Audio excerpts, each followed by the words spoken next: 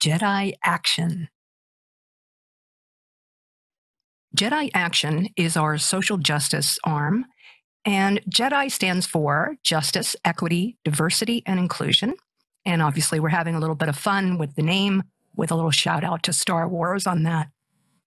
Jedi Action will partner with like minded 501c3 organizations that are focused on health justice, affordable housing, ending medical debt, treatment cost and access, drug parity, such as oral drugs being covered at the same rate as chemotherapy and radiation, Medicare for all, eliminating racial and income health disparities, equitable clinical trial participation, and that is both with regard to race and also income level, cancer research funding, governmental policy, cannabis as medicine, and human civil rights.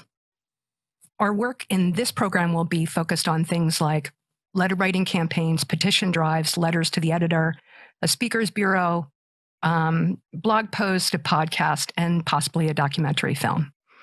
We're also going to take advantage of people within our community who really want to engage in this way with what we're calling Amplify.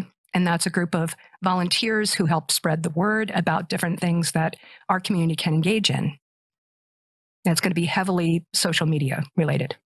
Another thing we'll do is if we find out that somebody has been denied coverage, um, we will bring together our army of people to make some noise on social media because that has a tendency sometimes to have insurance companies uh, change their mind.